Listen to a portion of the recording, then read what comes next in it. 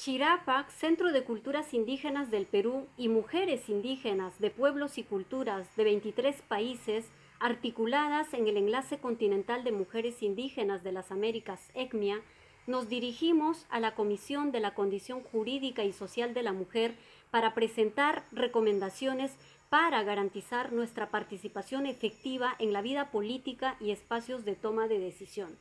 A pesar de avances normativos y esfuerzos con múltiples actores, las mujeres indígenas no estamos suficientemente representadas.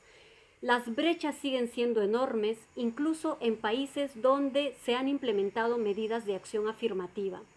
Quienes ejercemos o aspiramos a ejercer cargos de representación política enfrentamos múltiples violencias que limitan nuestros derechos políticos. Por tanto, recomendamos a los estados y agencias de Naciones Unidas a revisar y modificar marcos normativos, incluyendo leyes electorales y la inclusión de la paridad de género con enfoque étnico-racial y la creación de distritos electorales indígenas para garantizar la participación de las mujeres indígenas.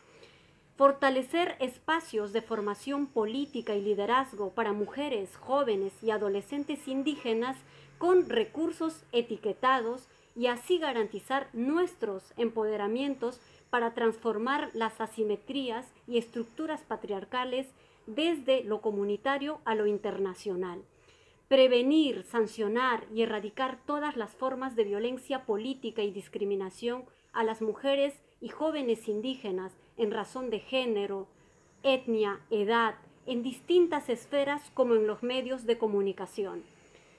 Crear sistemas de protección efectiva para defensoras indígenas de derechos humanos que sufren persecución y criminalización, estableciendo sanciones a quienes los cometen promover la institucionalidad relativa a mujeres, jóvenes y niñas indígenas que tengan rectoría, decisión ejecutiva, capacidad técnica y fondos para transversalizar las políticas públicas, garantizar la efectiva participación de mujeres y jóvenes indígenas en procesos de consulta previa,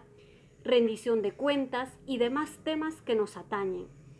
generar data desagregada con variables de sexo, género, edad, etnia en los instrumentos administrativos para la toma de decisiones sobre políticas públicas asertivas y focalizadas.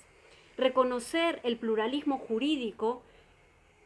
en pleno respeto a los sistemas normativos internos de los pueblos indígenas con enfoque de diversidad cultural y de género. Por último, instamos a la Comisión a promover la participación efectiva de las mujeres, jóvenes y niñas en este mecanismo, eliminando brechas lingüísticas, económicas, políticas y comunicacionales.